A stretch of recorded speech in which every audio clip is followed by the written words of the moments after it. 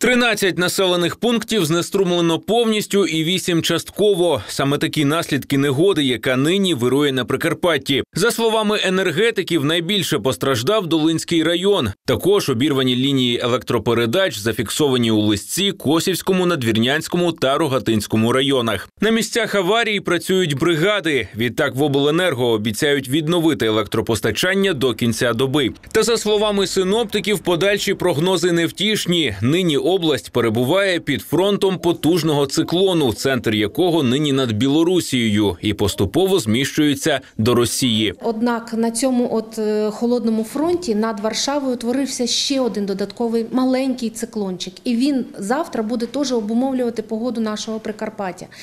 Зв'язку з чим у нас по області можуть бути невеликі опади в горах з мокрим снігом. Завтра е, в день буде до 10-15 градусів тепла. По місту Івано-Франківську від 13 до 15 тепла. Прохолодна погода, за словами синоптиків, протримається до середи. А у четвер, 27 числа, очікується значне потепління. Циклон остаточно відступить і повітря прогріється до 20 градусів тепла.